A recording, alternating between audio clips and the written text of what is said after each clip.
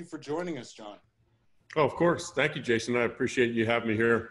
Put my glasses on so I look a little smarter. That's you definitely do. You look smart to me. All right, so um, tell me about the Phoenix real estate market. Um, right now, it seems to be just a hot market in general. Yeah, man, it's it's a it's an awesome market. It's really this is one of those times where it's really good for sellers and it's really good for buyers. There's the the really great inventory leaves the market very quickly, so you have to pounce on it if you're a buyer. But the cool thing is that uh, for from a buyer's perspective, w- there's a lot of good inventory coming on the market. This flipping thing isn't a fad anymore. There are some really great contractors out there upgrading some of these homes that have been in sore need of that, and some of them dedicated to making the houses greener, um, installing solar, and really attracting that buyer who really has a desire to have, you know, a, a, a greener uh, a greener footprint rather than want a house that just uh, you know sucks up energy needlessly. Excellent. Yeah, so the market's great here in Phoenix, and sellers are doing really well, of course, and I, I see that continuing for some time. Eventually, rates will go up, but when that happens, uh, people still need to have a place to live, and I think the market generally knows how to take care of itself. And right now, here in Phoenix, everybody who wants to sell a home, as long as they're realistic, are able to move their home, and anybody who wants to buy a home um, you know, as long as they're able to work with an agent who can help them quickly identify the properties that might work for them, they're in a great spot as well. Excellent. Well, it's it's also one of the top uh, residential solar states and areas. Um, do, do you see just a growing market, uh, and and do you see it getting more popular uh, for people to, to install solar on their homes? Trying to so, what was the second question? Question is, um, we're still in. You know, there's there's a, a solar boom in Phoenix also. Do you right. see a lot more homes, like you said, with solar panels on them? Do you see that that homes are already hitting the market? Do you see people are interested in solar uh, as they want to buy a home? And just how? What do you see? Oh, you know what? I see solar panels everywhere Five years ago, not so much. Now, as you drive around Phoenix, you don't have to look very far to see solar panels. It used to be, you know, uh, only the tree huggers had had solar panels. Now, people who um, who are who are people are becoming aware of the opportunity and they're not passing up on it. So it doesn't make sense not to have solar. So people are turning to it and getting it put on their homes. Right. You know, it, it, you think it's just because the the efficiency of the panels have gone up and the price has gone down that it's just it's too attractive to stop? Is that is that what you see? Kind of. I get, I'm going to guess that that has a lot to do with it, right? It's um, in, it, not very long ago, uh, the efficiency wasn't near what it is, but it's still even though all that you know how um, technology is. The computers we're using right now, they won't be very powerful in four years, but they work great right now. And it doesn't make sense to live right now because the technology is going to get better tomorrow. And I think people realize that too. As fast as this technology is moving, um, it doesn't make sense not to fix your energy costs if you can. Right. Otherwise, you're at the mercy of the energy companies, right? You, your, um, your, your power bill is going to go up if you don't take control. Right. Now, um, do you find do you find that you have difficulty with uh, lenders if someone wants to install solar on their home, or do you do you, are there special mortgages that you find, or do you tell people to get an equity loan on top or an equity line of credit on top of their mortgage?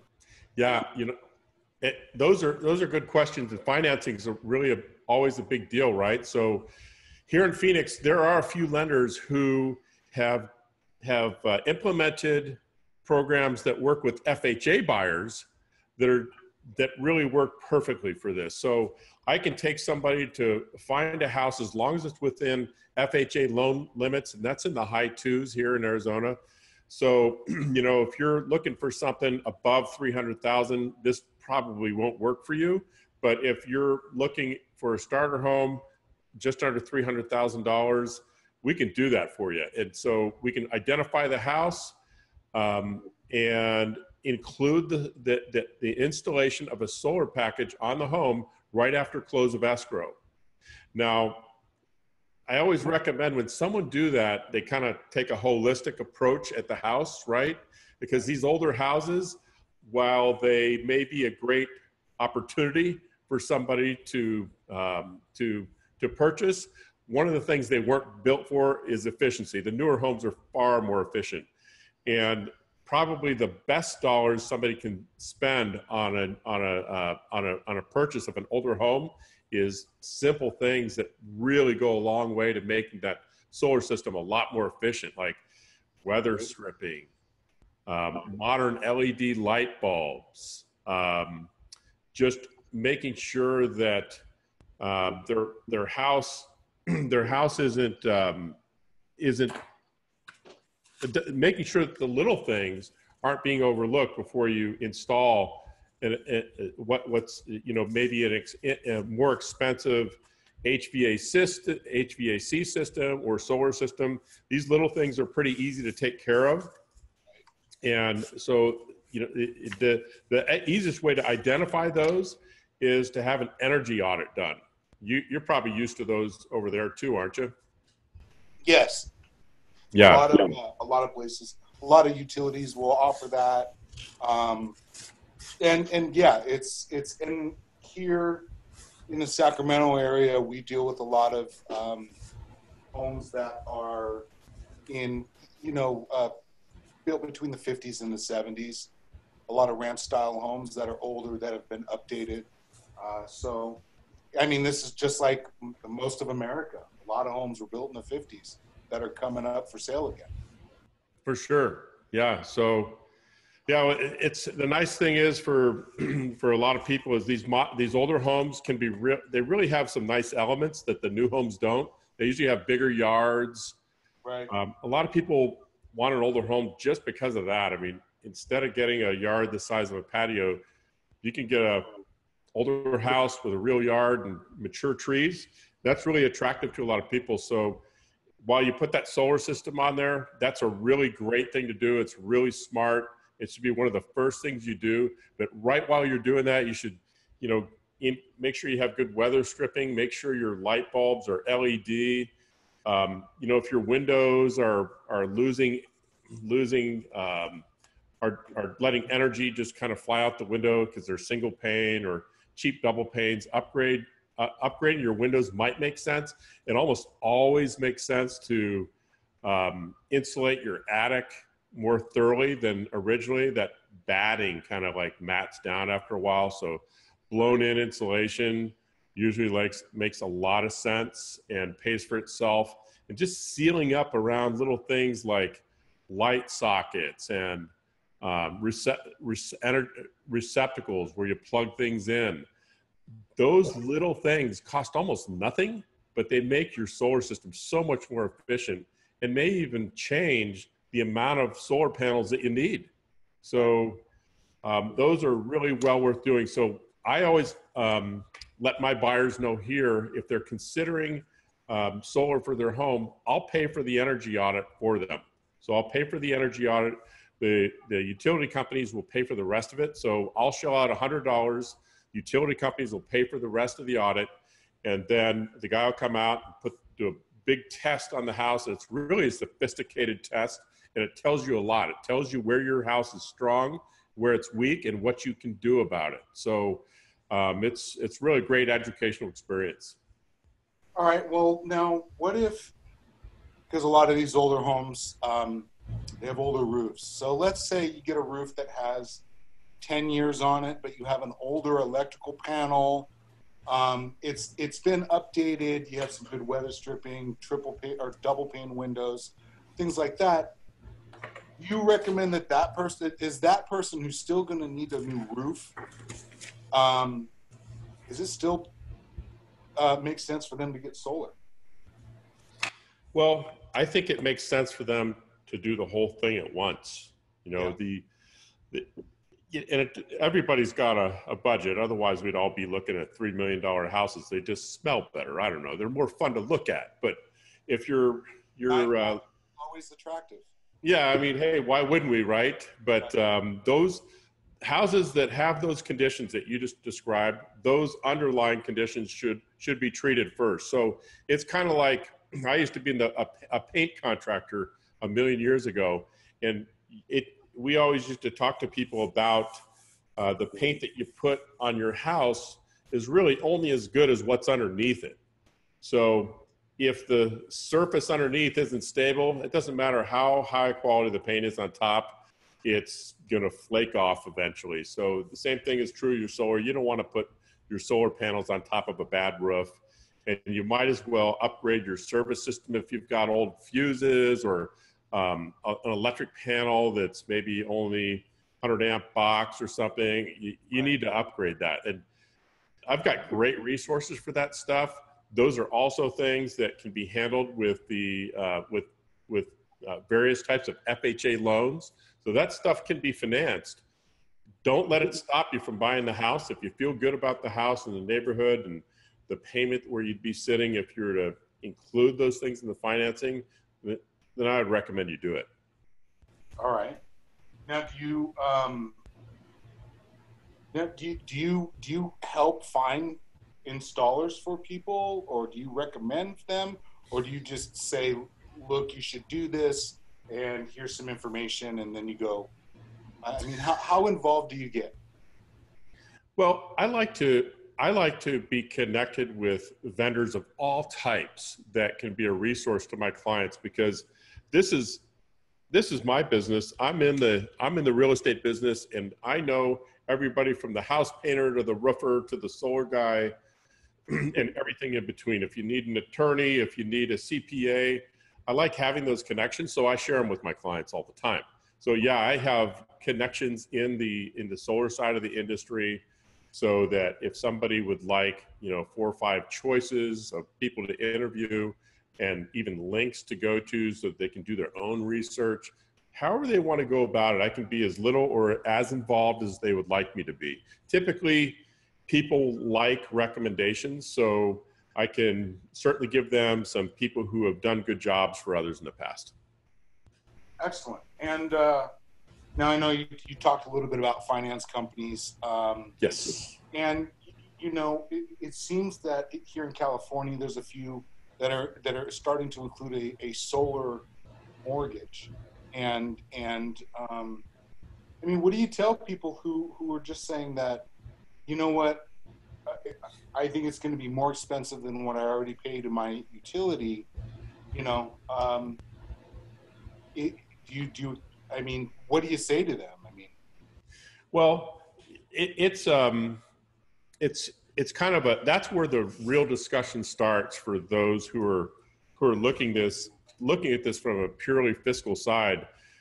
I think that once they sit down with somebody who's in the solar business, se- sells the panels, it's pretty easy to see that you know four or five years you're going to be you're going to be recapturing most of your investment. So if you're going and, and at the same time, solar, uh, solar, um, solar, pl- these solar plants, that's what they really are. They're, they're energy plants that you, you have on your home instead of getting it from the wire from the utility company. You have your own energy plant. So these, these solar plants that people invest in, they have value that is sustaining. I mean, they do, you know, as they become 20, 30 years old, the value has declined, but nonetheless, they they hold value and they'll still be valuable four years from now. So, um, you know, there's an inherent value in installing these things on your house. And the cool thing is, like we said earlier, um, once you've paid for the thing, the price of the energy doesn't go up. The sun doesn't charge you more because it's five years later.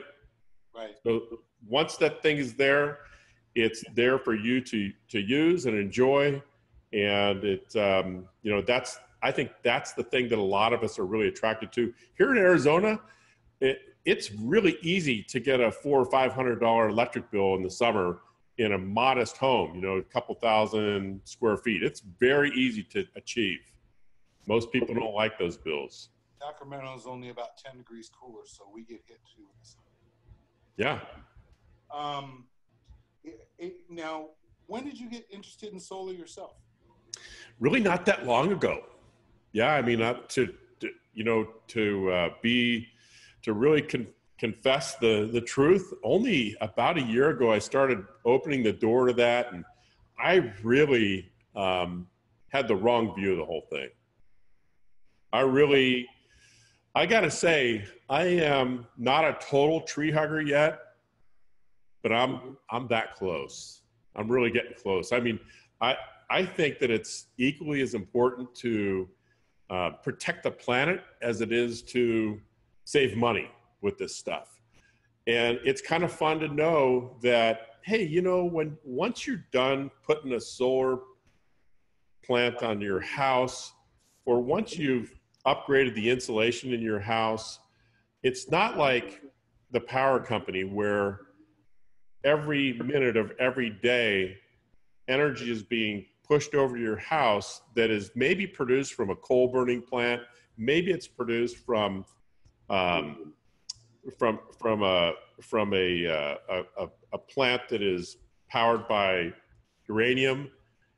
And you know those things aren't aren't inherently bad but they they're much more you know uranium um, you know the uh, the bad side about that is what do you do with all that stuff when the rods are exhausted? You, you, right now you're they just sit there at the power plant and they're encased in in lead and concrete and you know the water that keeps those rods cool. I don't know what they do with that stuff when it's done but it takes a lot of water to keep them cool.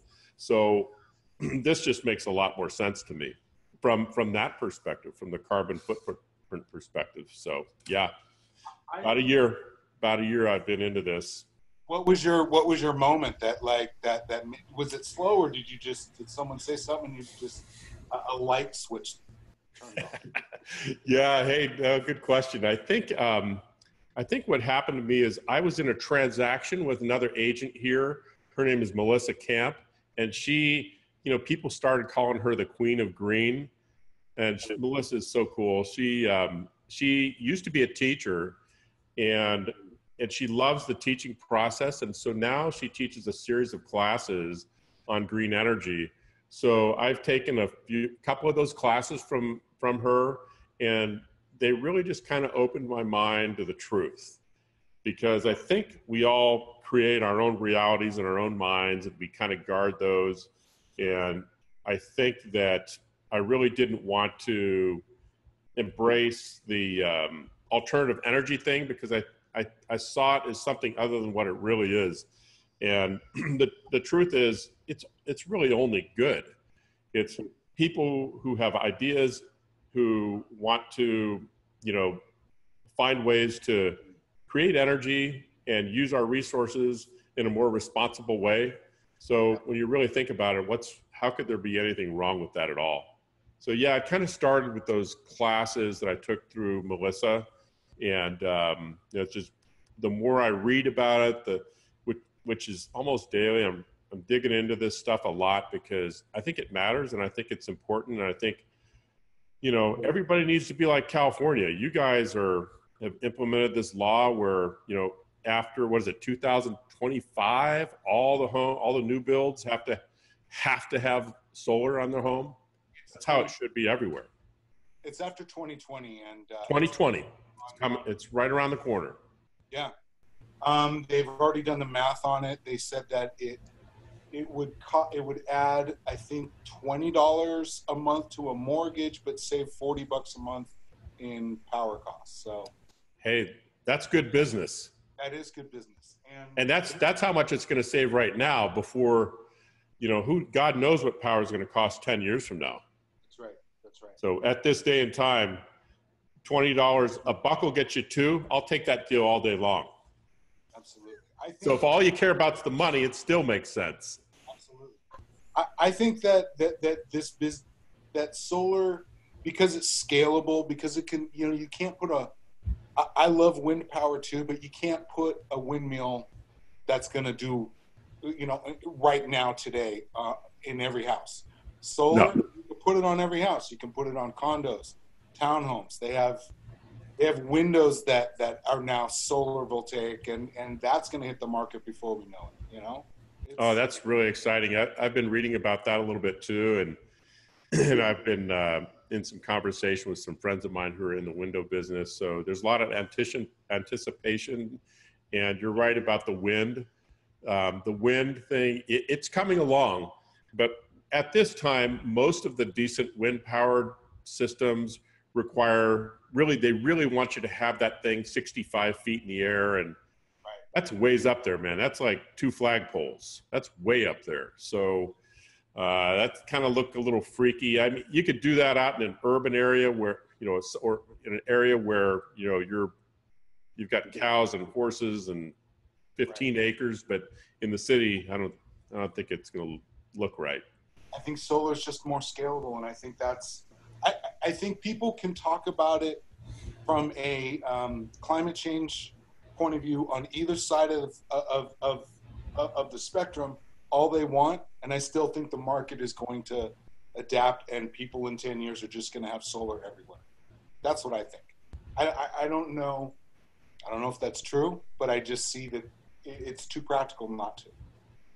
Well, I think you're right. you know, for one thing, um, wind is wind comes and goes a lot more than the sun. We know the sun is going to ri- rise every day, and in a place like Arizona, more than we get what 300 days a year of sunshine, so it's just a complete no-brainer. Know, it's it's um, you know we can we can uh, even when there's some clouds, I mean, we can get power from the from the sun on most days in a, in a solar panel.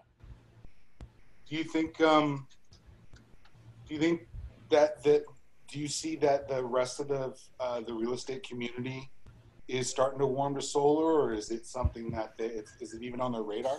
Well, I think I think most of us know that it's it's um, it's it's here to stay, and we're learning how to deal with it.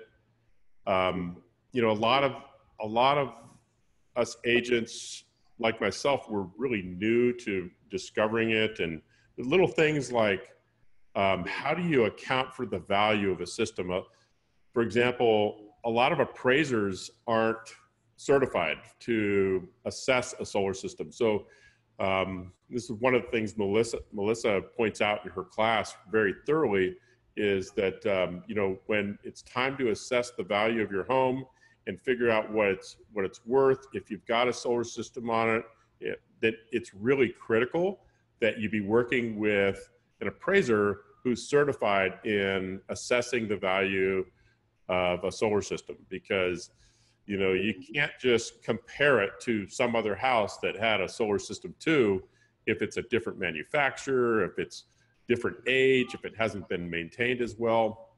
There's a lot to it. That's right. That's right. Well um, i just wanted to say thank you for joining us today. Yeah. And, and uh, everyone out there, uh, thank you for joining us on the Haha Smart Solar Podcast. Uh, go to hahasmart.com, sign up, and you can have local installers uh, call you up, and they can help you uh, find a great system for yourself. And and uh, so, thank you.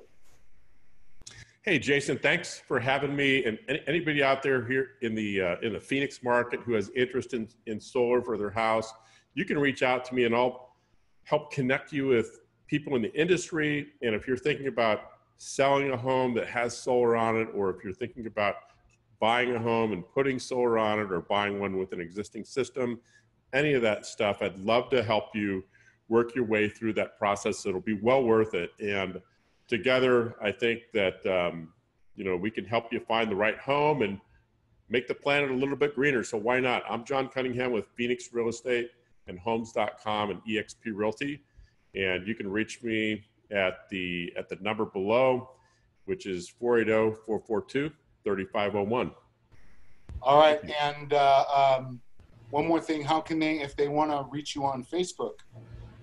Oh, John John Cunningham, EXP Realty. Just look that up. You'll see me. All right. Thanks so much. And uh, thanks again for having me and have a great day. Okay. All right, Jason.